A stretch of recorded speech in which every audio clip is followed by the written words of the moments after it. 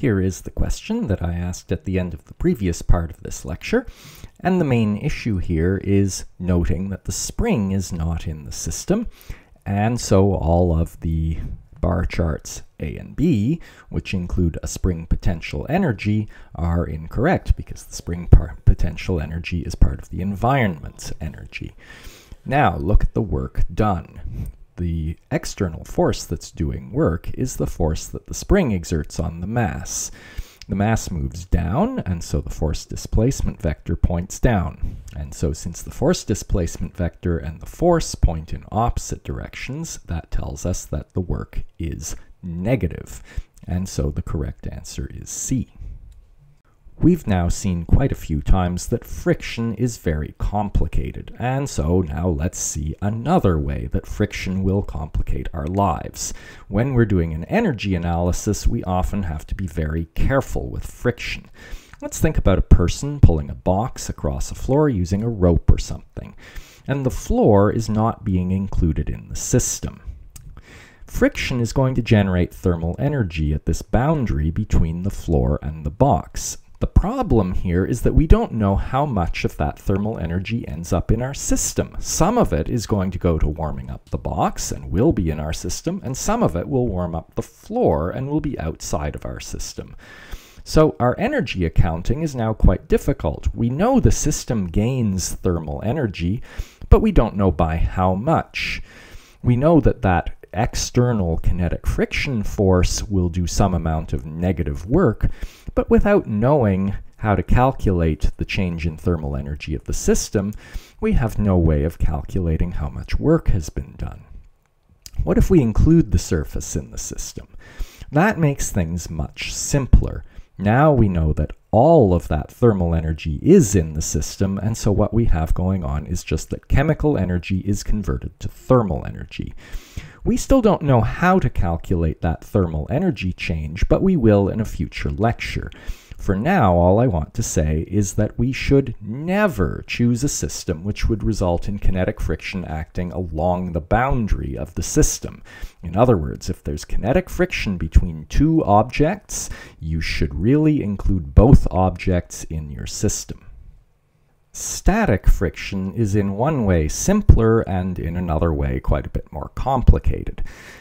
Let me just remind you, kinetic friction causes irreversible state changes, and so that means it produces thermal energy. And that's our reason for the rule that we should never have kinetic friction acting along the system boundary.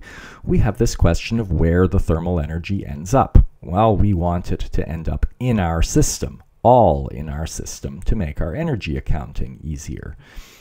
But static friction causes reversible state changes. It's really just like a spring force acting on microscopic scales, and so there's no thermal energy produced by static friction.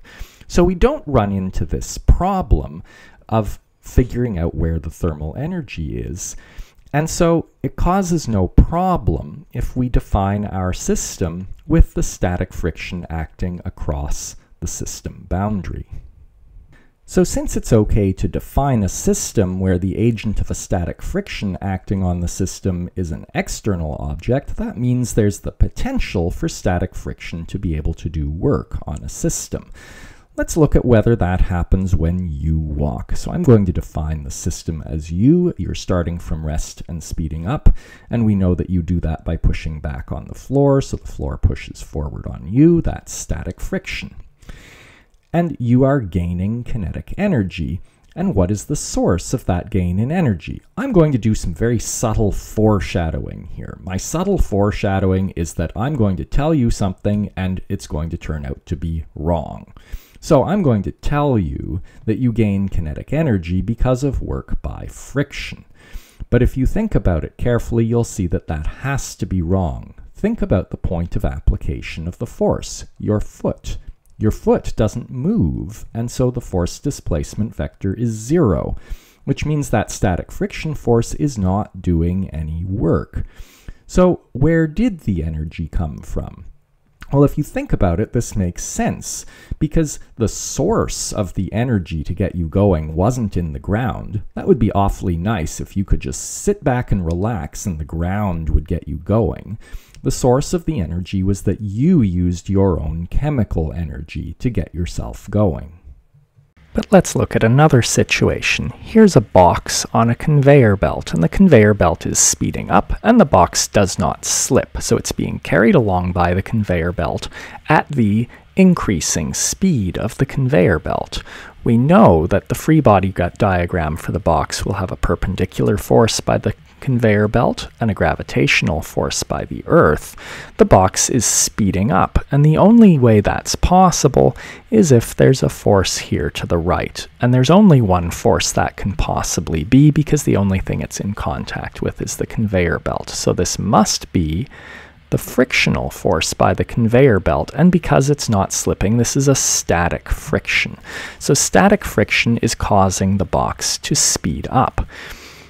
And does this force do work? Well, again, the point of application is at the point where the box is touching the conveyor belt. But this time, the point of application is moving along with the box. And so there is a non-zero force displacement vector in the direction of motion. And so that tells us right away that the friction is doing positive work. So we see that while we have to be careful about static friction sometimes and whether it does work, because frequently its point of application doesn't move, it's quite possible for a static friction force to do work.